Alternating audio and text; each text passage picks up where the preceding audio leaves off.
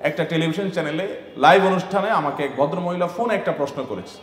প্রশ্নটা শুনে আমি অবাক হয়ে গেছি এবং লাইভের মধ্যে আমি বললাম যে আপনার প্রশ্নের কি উত্তর দেবো? আমি তো এই প্রশ্ন নিয়ে আমি ভাবতে ভাবতে আমি শেষ হয়ে যাচ্ছি। ভদ্রমহিলা প্রশ্ন করে বলছেন যে, আমার স্বামী আমাকে অনেক কষ্ট দেয়, অনেক আমার হক নষ্ট করে। সে বাহির থেকে আসে এসে মোবাইল টিপে টিভি রিমোট নিয়ে বসে, আমার দিকে তাকায়ও না, জিজ্ঞেসও করে না, অসুখ বিসুখ, খেলাম কি মরলাম দেখা দেখি নাই, আমার কোনো হক সে আদায় করে না। আমি নামাজ পড়তে গেলেও সে ডিস্টার্ব করে। শেষ পর্যন্ত আমার নামাজ যেতে অসুবিধা হয়, সে দুইটা তিনটা পর্যন্ত নানান গুনাহের কাজে লিপ্ত থাকে।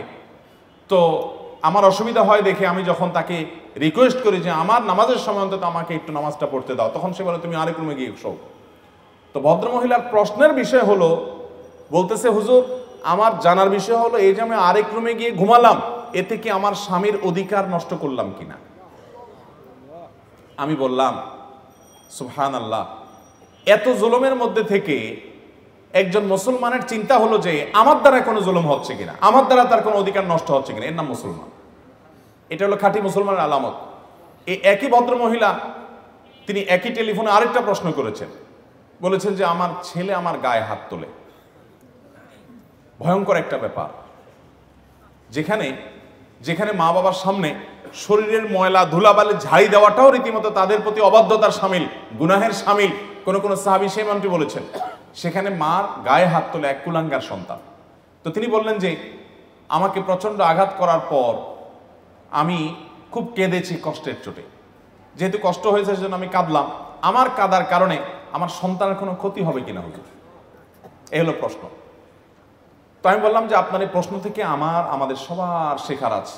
যে মুসলমান নিজের দায়িত্ব, নিজের যে অধিকার সেটা যদি পেতে তার কোনো প্রকার তাকে, সেটা আদায় করতে কেউ ত্রুটি বিচ্ছুতি করেও, যে আমার অধিকার কেউ আদায় করছে না, ত্রুটি বিচ্ছুতি করছে, অন্যায় করছে, সে দেখবে যে আমার দ্বারা কারোর অধিকার নষ্ট হচ্ছে কিনা। এর নাম হলো মুসলমান। আমরা আজকাল সবাই অধিকার সচেতন, কিন্তু কর্তব্য সচেতন না। ভালো মুসলমান হতে হলে আপনাকে কর্তব্য সচেতন হতে হবে, দায়িত্ব সচেতন হতে হবে যে আমার দ্বারা কারোর জন্য হক নষ্ট না হয়। চেষ্টা করব তো ইনশাআল্লাহ। আল্লাহ তালা আমাকে, আপনাকে, আমাদের সবাইকে এটি মেনে চলার তৌফিক দান করুন এই একটা আরজ আমি রাখলাম।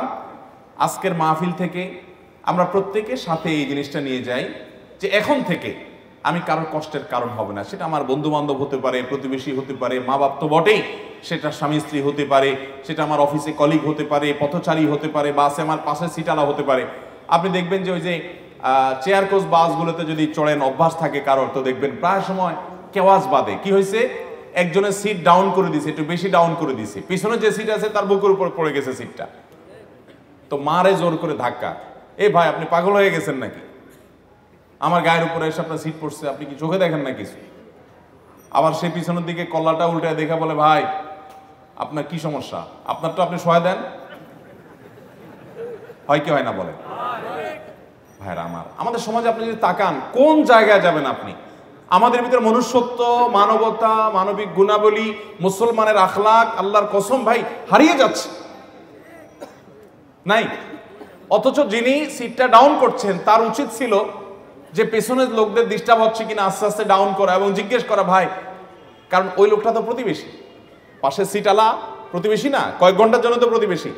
আর নবী সাল্লাহ সাল্লাম বলেছেন, যে ব্যক্তির যে ব্যক্তির কষ্ট থেকে তার প্রতিবেশী নিরাপদ থাকে না, প্রতিবেশীকে কষ্ট দেওয়া থেকে যে ব্যক্তি বিরত থাকে না, সে ব্যক্তি ইমানদার হতে পারে না। তার উচিত ছিল সিটটা ডাউন করার সময় বলা, ভাই, বেশি হয়ে গেলে, বেশি নিচে হয়ে গেলে বলেন প্লিজ আপনার কষ্ট হচ্ছে কিনা, ভাই ডিস্টার্ব হচ্ছে কিনা? এ হলো একটা ভালো মানুষের কথা, ভালো মুসলমানের কথা।